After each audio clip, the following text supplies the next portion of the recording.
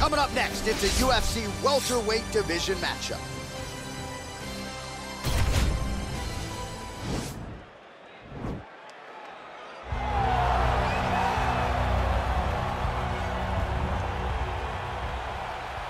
Ready.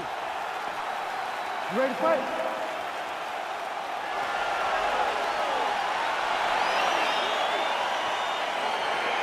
All right, here we go. Round one of Act Two between Conor McGregor and Dustin Poirier. They met for the first time back in 2014. Your thoughts on what Poirier needs to do differently to get his hand raised in the rematch? Poirier needs to keep his emotions in check. He has to understand that Conor is going to play mind games with him. I thought the mind games took over for Dustin Poirier in fight one. He cannot allow that to happen McGregor gets caught with that punch. Got to shore up the defense here. Oh.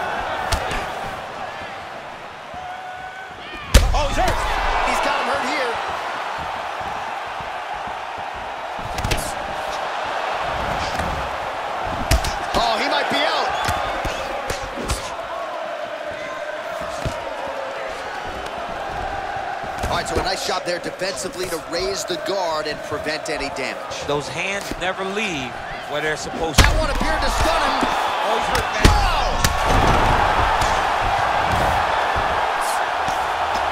Now he's on top of him looking for the finish.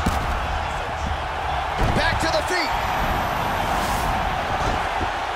Oh, nice job using his strength there to posture up. We'll see what he can do now. He's going to start looking to land big shots from the top. All right, well, both fighters pretty comfortable on the ground, DC, but you got to be very careful hanging out here for too long if you're his opponent.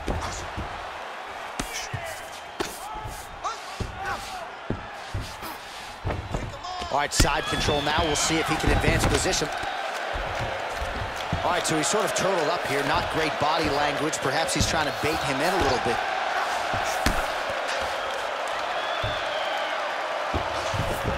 Right back to the full mount. Oh, man. This ground and pound is good. Probably my favorite striking realm in MMA, and he's as good as it gets. The problem is his opponent is not controlling his posture.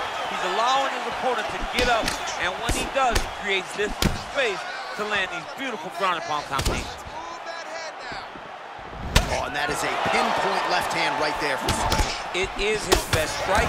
And It is because he knows exactly where he needs to be in the octagon to land that left hand over and over again. So just over 20 total strikes have now landed for Conor McGregor. He's throwing every part of himself into these big leg kicks. And he connects there, DC. Great job landing that punch. Punches blocked. Could be in trouble. He's in trouble. He's hurt bad. He doesn't know if he's in the octagon or at his mama's house for Thanksgiving. Uh, Dude's hurt. Serve him up. Huge shot finds the target there. Great shot lands. Now he's got to go find that follow-up attempt.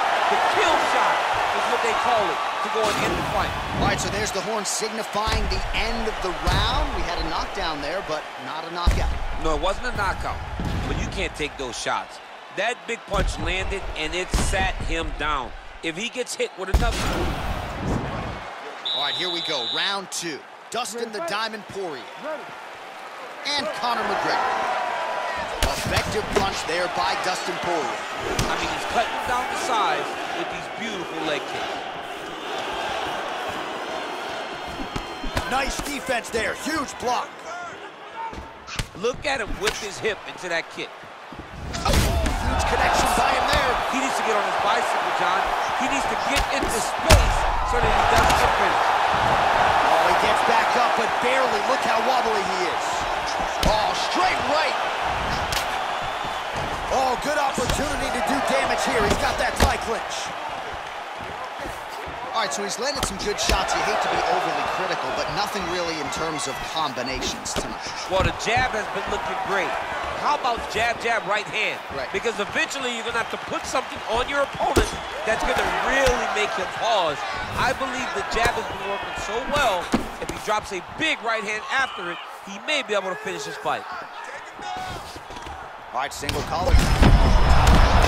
Shot there. He's lucky his head's still attached to his body. The last time I saw an uppercut like that, it was Overeem versus Ngannou.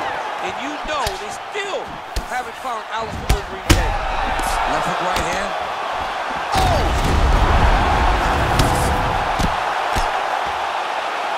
Oh my goodness!